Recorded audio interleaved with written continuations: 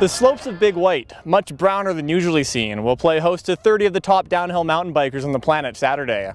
The inaugural Big White Invitational Slopestyle competition kicked off Thursday with the amateur event, where four riders qualified for Saturday's gold event.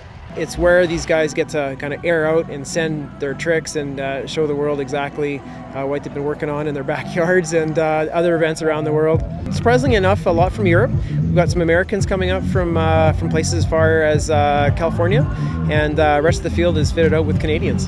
While strong winds Friday caused some scheduling issues, riders were able to sneak in some practice runs in anticipation of Saturday's competition.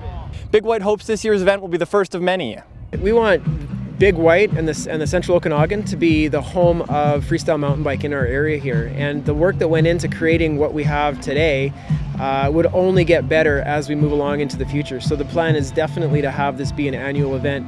We're talking to the FMBA right now about dates for next year. We've gone from zero to 100 in a very short period of time here. So we're now at the level of a lot of these uh, established events that have been going on for years, in some cases decades. Uh, and the feedback that we're getting from the riders is that uh, it's on par, if not ahead, in some cases. So we're, we're really satisfied. We're very pleased with the with the feedback and the results we've seen so far, uh, and we're really only going to get better from here. From high above on the slopes of Big White, I'm Nick Johansson for Castanet News.